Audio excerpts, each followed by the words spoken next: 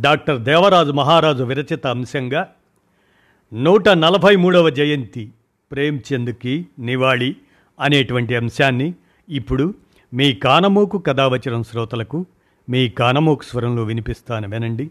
నూట నలభై మూడవ జయంతి ప్రేమ్చంద్కి నివాళి ఇక వినండి. వాస్తవిక సృజనకారుడు మనిషి ప్రేమ్చంద్. ముప్పై ఒకటి జులై వచ్చిందంటే భారతీయ మహారచయిత మున్షి ప్రేమ్చంద్ గుర్తుకు వస్తారు. కేవలం ఉర్దూ హిందీ భాషల వారికే కాదు అన్ని భారతీయ భాషల వారికి ఆయన గుర్తుకొస్తారు. ఎందుకంటే వారి వారి భాషల్లో ఆయన నవలో కథో చదివే ఉంటారు. మా తరం ప్రేమ్చంద్ రచనలు చదువుతూ పెరిగాం. ప్రేమ్చంద్ పేరు మన తెలుగు రచయిత గోపీచంద్ లాగా ఉండడం వల్ల ఈయన మరో తెలుగు రచయిత అనుకునేవాళ్ళం. చాలా కాలం. ఆయన బెంగాలీ అని తెలియదు. రచనలు ఊహల్లోంచి భ్రమల్లోంచి కాదు వాస్తవాల్లోంచి నిజాల్లోంచి వెలువడాలి అన్నది ఆయన రచనలు చదివిన వారికి అర్థమవుతుంది. గొప్ప గొప్ప చదువులు చదవకపోయినా భాషా పాండిత్యం సంపాదించకపోయినా జీవిత పాఠాలని క్షుణ్ణంగా నేర్చుకుంటే మహారచయితలు కాగలరు అన్న విషయాన్ని ప్రేమ్చంద్ చెప్పకనే చెప్పారు. తల్లి ప్రేమను పొందలేక తండ్రి నిరాదరణకు గురై తన బాహ్య అంతర్ ప్రపంచాల్లో పెనుభూతంలా పెరిగిన ఒంటరితనాన్ని పుస్తకాలతో దెబ్బకొట్టారు ఆయన. చిన్నప్పుడు పుస్తకాల షాపులో పనిచేయాల్సి వచ్చినా ట్యూషన్లు చెప్పినా ఉపాధ్యాయుడిగా ఉద్యోగం చేసినా ఎన్ని ఊర్లు మారినా ఎక్కడ ఉన్నా పుస్తక పఠనం మానలేదు. తన ఒంటరితనాన్ని సాహిత్య పఠనంతో నింపుకునేవారు. తర్వాత కాలంలో మెల్లమెల్లగా తనూ రాయడం ప్రారంభించారు. ప్రేమ్చంద్ ముప్పై ఒకటి జులై పద్దెనిమిది వందల ఎనభైలో జన్మించి అక్టోబర్ ఎనిమిది పంతొమ్మిది వందల ముప్పై ఆరున మరణించారు. ప్రేమ్చంద్ వారణాసి దగ్గర లంహి అనే గ్రామంలో పుట్టి అజయ్ రాయ్ ఆనందదేవి దంపతులకు ఆయన పుట్టారు. పుట్టినప్పుడు పేరు ధన్పత్ రాయ్ చిన్నప్పుడు ఊళ్ళోని మదర్సాలో ఉర్దూ పర్షియన్ నేర్చుకున్నారు.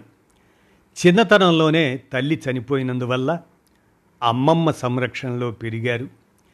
వీరి మేనమామ ఒక ఆయన సరదాగా ధన్పత్ రాయ్ని నవాబ్ అని ముద్దుగా పిలుస్తుండేవాడు. అదే పేరుతో ఆ యువకుడు చిన్న చిన్న కథలు రాయడం ప్రారంభించాడు. నవాబ్ రాయ్ అనే కలం పేరుతో కొంతకాలం రాసి తర్వాత బాబు నవాబ్ రాయ్ జన్సార్ అనే పేరుతో రాసి చివరికి పంతొమ్మిది వందల తొమ్మిదిలో ప్రేమ్చంద్ అనే కలం పేరు స్థిరపరచుకున్నారు. పుస్తకాల్లోంచి ప్రపంచాన్ని చదవగలిగిన నైజం నేర్పు ప్రేమ్చంద్కు చిన్నతనంలోనే వచ్చింది. చిన్నప్పుడు తన తల్లిని చూసిన అనుభవం ఆమె మాట నడబడి దయాగుణం ఆయన తర్వాతి కాలంలో బడేగర్కి బేటీ నవలలో చిత్రించాడని అంటారు.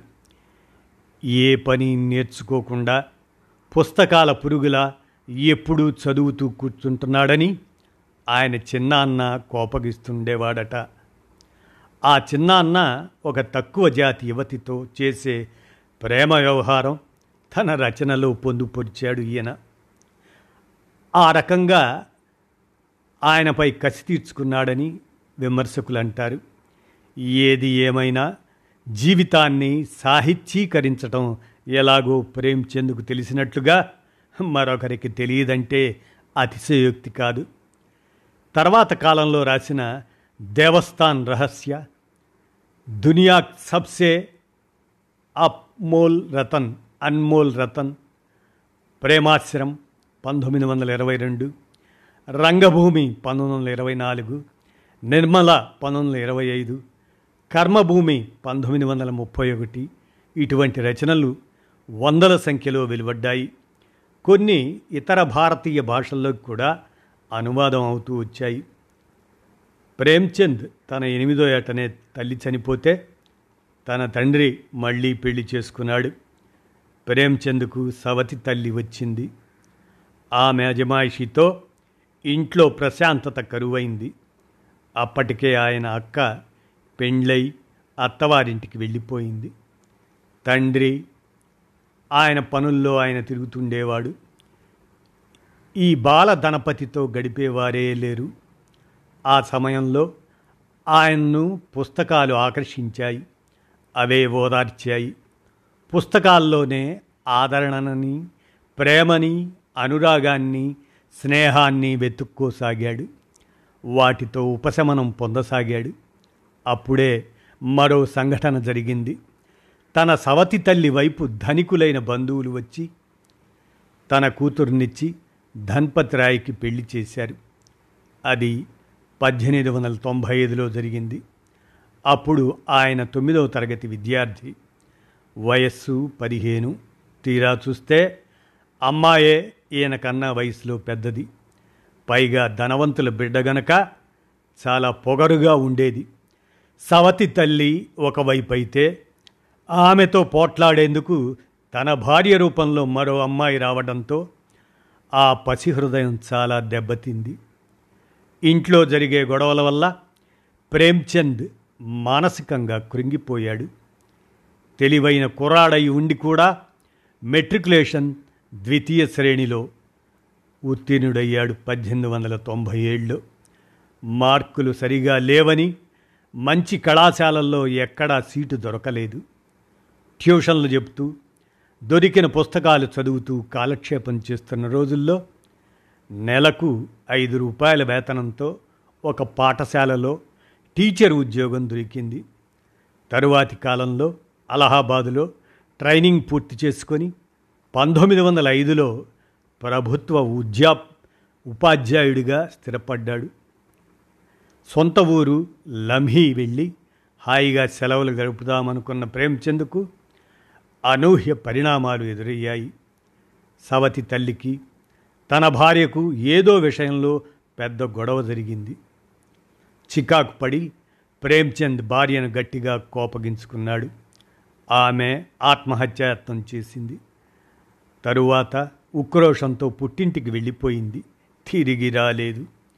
బాల్య వివాహాల దుష్పరిణామాలు దుష్ప్రభావాలు ఎలా ఉంటాయో ఆయన స్వయంగా అనుభవించారు. బొమ్మల పెళ్ళిళ్ళు చేసినట్లు బాల్య వివాహాలు చేసే పద్ధతి మారాలని ఆయన కోరుకున్నారు. అప్పటికి ఆయన వయస్సు ఇరవై ఐదు సంవత్సరాలు. తర్వాత కాలంలో చాలా చోట్ల ఆయన బాల్య వివాహాల వాటి గురించి వితంతు వివాహాల గురించి రాస్తూ వచ్చారు. సంస్కరణోద్యమంలో భాగంగా ఆయన పంతొమ్మిది వందల ఆరులో శివరాణీదేవి అనే వితంతువును మళ్ళీ పెళ్ళి చేసుకున్నారు. ఎన్ని ఒడిదుడుకులొచ్చినా ఇద్దరూ కలిసి ఉన్నారు. ఆవిడ ఆయన్ను జాగ్రత్తగా చూసుకున్నారు. ప్రేమ్చంద్ మరణానంతరం ఆమె తన అనుభవాలను ప్రేమ్చంద్ ఘర్మే అనే పుస్తకం ప్రకటించారు. అతి సామాన్యమైన జీవితం గడుపుతూ ఉన్నత ఆశయాల కోసం విలువల కోసం దేశం కోసం ఆయన చేస్తూ వచ్చిన కార్యక్రమాలన్నీ అందులో ఆమె నమోదు చేశారు. ప్రభుత్వ విద్యాశాఖలో ఉపాధ్యాయుడిగా ఉంటూ పంతొమ్మిది వందల పంతొమ్మిదిలో ప్రేమ్చంద్ అలహాబాద్ విశ్వవిద్యాలయం నుండి బిఏ పట్టా పొందారు. పంతొమ్మిది వందల ఇరవై ఒకటిలో ప్రమోషన్పై స్కూల్ ఇన్స్పెక్టర్ అయ్యారు. జీవితం కాస్త బాగా సాగుతుందని అనుకుంటున్న సమయంలో ఉద్యోగం వదిలి స్వాతంత్రోద్యమంలో పాలు పంచుకోవాలని గాంధీజీ నుంచి పిలుపు వచ్చింది. అంతే ఉద్యోగం వదిలేసి ఉద్యమంలో చేరారు. చాలా ఇబ్బందులు పడ్డారు. గోపాలకృష్ణ గోఖలే బాలగంగాధర్ తిలక్ అలాంటి వారిని అభిమానించేవారు ఈయన. కాన్పూర్ గోరఖ్పూర్లో పనిచేసిన ఆయన బతుకు తెరువు కోసం బొంబాయి వెళ్ళారు. మద్దూర్ సినిమా స్క్రిప్ట్ రాశారు. కార్మిక నాయకుడిగా సినిమాలో కూడా కనిపించారు. ఆ సినిమా విడుదలకు ఎన్నో ఆటంకాలు ఎదురయ్యాయి. చివరకు ఢిల్లీ లాహోరుల్లో విడుదలైంది. కొద్ది కాలమే నడిచినా కార్మిక లోకాన్ని కదిలించింది. కార్మికులు ఐకమత్యంగా కదిలి రావటం బ్రిటిష్ పాలకులకు నచ్చలేదు. వెంటనే ఆ మజ్దూర్ చిత్రాన్ని నిషేధించారు. దేశంలో ఆ సినిమా ఆ రోజుల్లో సంచలనం సృష్టించింది. రచయితే ఆర్థికంగా నిలదొక్కుకోలేకపోయారు. అక్కడి పరిస్థితులకు విసిగి ముంబైలోని ఇల్లు ఖాళీ చేసి వెళ్ళిపోయే ప్రయత్నంలో ఉండగా బాంబే టాకీస్ అధినేత హిమాంశురామ్ ఎన్నో విధాల చెప్పాడు. అయినా ప్రేమ్చంద్ వినలేదు. హిందీ సినీ పరిశ్రమకు వీడ్కోలు చెప్పారు. రచనలు చేయటం పత్రికలు నిర్వహించడం ముఖ్యమైన పనిగా పెట్టుకున్నారు. బాల సాహిత్యం అనువాదాలు జీవిత చరిత్రలు కథలు నవలలు జమానా సరస్వతి వంటి పత్రికల్లో విరివిగా రాస్తూ గడిపారు. ఇన్ని ప్రక్రియల్లో కృషి చేసేవారు చాలా అరుదుగా ఉంటారు. Oscar Wilde Gide Maupassant Leo Tolstoy Charles Dickens ఇటువంటి పది మంది విదేశీ సాహితీ దిగ్గజాల రచనలు హిందీలోకి అనువదించారు ప్రేమ్చంద్. వీరి రచనలు ఆధారంగా ఆ రోజుల్లో ఎన్నో చెప్పుకోదగ్గ సినిమాలు రూపొందాయి. దేశం గర్వించదగ్గ చలనచిత్ర దర్శకుడు సత్యజిత్ రాయ్ ప్రేమ్చంద్ కథల ఆధారంగా సద్గతి షత్రంజ్కి కిలాడి అనే సినిమాలు తీశారు. రాజులు సంస్థానాధీశులు ఏకమై బ్రిటిష్ వారిని తన్ని తగలేయాల్సిన సమయంలో కొందరు ఎంత మూర్ఖంగా ప్రవర్తించారో ప్రేమ్చంద్ ఇందులో వ్యంగ్యంగా చిత్రించారు. సజ్జిత్ రాయ్ దాన్ని మరింత అద్భుతంగా చిత్రీకరించారు. ప్రేమ్చంద్ రేషన్ కథను మృణాల్ సేన్ ఒక ఊరి కథ అని తెలుగులో సినిమాగా తీశారు. ఇది సోమరిపోతులు తాగుబోతులు అయిన తండ్రి కొడుకుల కథ. కొడుకు భార్య చనిపోతుంది. శవ సంస్కారానికి కూడా డబ్బులు ఉండవు. శవం మీద గుడ్డ కప్పి అందరినీ డబ్బు అడుగుతారు. కొంత డబ్బు సమకూరుతుంది. ఆ డబ్బు తీసుకొని మందు తాగటం కోసమని ఆ తండ్రి కొడుకులు మళ్ళీ పాకకు వెళ్తారు. మానవీయ విలువలు నశించిపోతే పరిణామాలు ఎలా ఉంటాయో చెప్పిన కథ అది.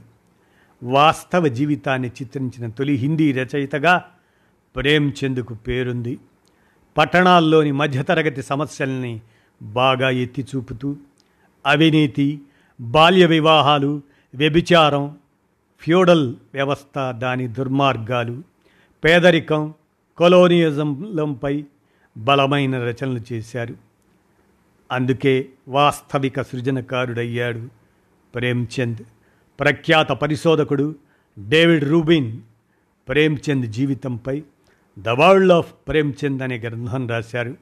దాన్ని రెండు వేల ఒకటిలో ఆక్స్ఫర్డ్ వారు ప్రచురించారు. అందులో ఆయన ప్రేమ్చంద్ గురించి ఇలా అంటారు.